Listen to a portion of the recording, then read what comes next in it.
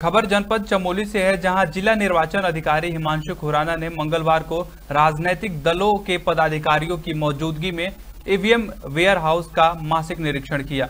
निरीक्षण के दौरान जिला निर्वाचन अधिकारी ने ईवीएम व वीवीपैट मशीनें डबल लॉक में सुरक्षित पाई गई।